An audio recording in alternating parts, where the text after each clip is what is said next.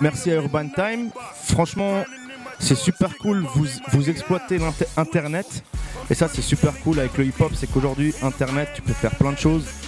Grâce à vous, je, je, vais vous le dire, même grâce à vous, je vois des trucs qui se passent en Suisse romande que je ne connaissais pas. Merci beaucoup.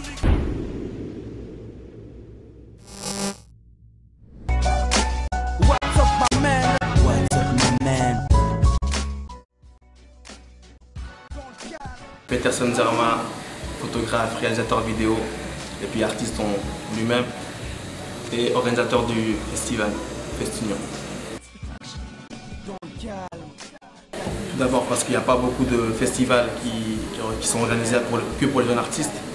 Parce que c'est vrai qu'il y a beaucoup de, jeunes talents en Suisse et qu'on ne les connaît pas en fait parce qu'on les, les passe pas à la radio ou bien parce qu'ils n'ont pas de manager tout simplement bien pas de structure qui leur permettent d'avancer et puis d'être connus un peu plus, plus loin que sur le net.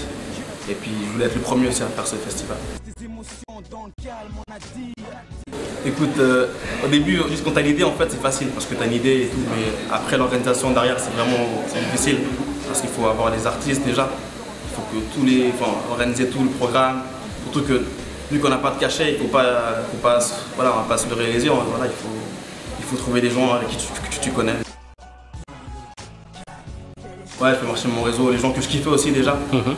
Et puis voilà, c'est les gens qui sont là aujourd'hui, c'est les gens qui sont venus par, par amour et puis ils sont venus faire leur art. Bah écoute, euh, d'autres villes, il y, a, deux artistes de Genève. Par internet en fait, parce que j'ai écouté euh, plusieurs euh, chanteuses et chanteurs que je kiffais bien, mais que je connaissais pas. Je leur ai parlé tout simplement et puis je leur ai dit que je faisais cet événement. Ce serait bien pour eux et pour, moi aussi. Et voilà, vice ça. C'est Flowy, big pas lui aussi. C'est un mec que j'apprécie beaucoup. Malheureusement, il ne peut pas parce qu'il a des examens et tout. Mhm. Mais euh, prochainement. À la base, on voulait faire une fois par année. Mhm. Mais là, j'ai peut-être eu un, bon plan. Je ne peux pas encore le divulguer, mais il ferait qu'on pourra le faire deux fois. Et puis la prochaine fois, ça serait à l'extérieur. Cocktail explosif, il y a plusieurs artistes, il y a des comédiennes, il y, a, vraiment de tout. Donc euh, la personne qui n'aime pas forcément le rap, il va aimer le prochain. Parce que le prochain c'est du chant, bien c'est du zouk ou autre. Donc euh, il y a vraiment de tout. C'est vraiment pas facile. Et puis conseil encore, c'est ne touche pas à tout si tu, ne maîtrises pas tout. Moi je fais ça parce que j'aime bien, parce qu'en même temps j'aime bien être devant de la scène et derrière de la scène aussi.